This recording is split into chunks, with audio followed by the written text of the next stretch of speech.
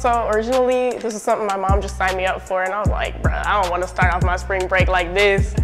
But I came and it was actually really fun. I was taught by people like my age. I was engaged. I got hands-on experience. I was like, it's something like I'm never gonna forget. And it's taught me life skills I can take out into the world.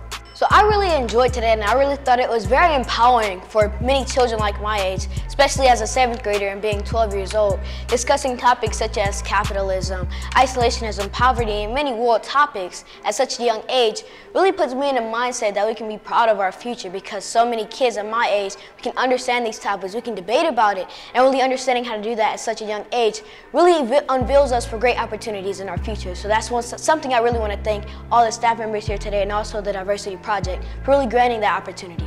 It was really interesting to get, get to interact with other kids my age and see how different experiences have allowed us to formulate our own opinions and how to kind of interact with people appropriately. Well, as a kid, every single day I'm usually taught by a teacher, someone way older than me and really has insight about this topic. But today we were taught by other students our age and they understood the same things. And this was very, very different and also, you know, more relating because they're kids too, so they understand the topics. They understand how we might feel like, for instance, if I ever had any questions, they were there to answer because they could have had the same questions too. I would first like to thank the Harvard Debate Council for such an amazing day, getting to learn things about debate that you may not get to learn in your everyday classes. And some of the things that I really took away was how to structure my opinions into an argument and then how to engage my audience.